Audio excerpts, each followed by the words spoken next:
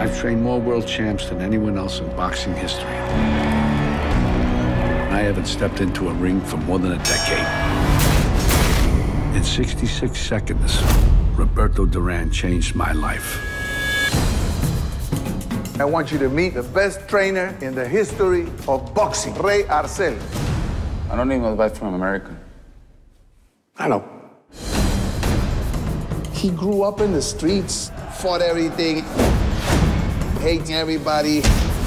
He's wild. You can help him, Ray. You can make him a champ. Slow down. Then go.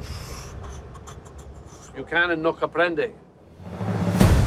Turn the right hand over.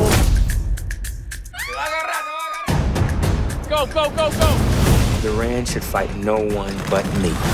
I don't lose. You put God in the ring, and I will beat him. And now, Sugar Ray Leonard.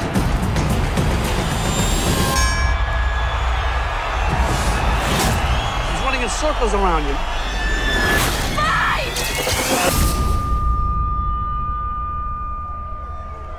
This is inexplicable. I work on my life. I didn't have any food when I was a kid. I'm hungry. I don't want to be hungry anymore. No mas. He needs to come back. Roberto Duran, the man with the hands of stone. We are in for a serious fight.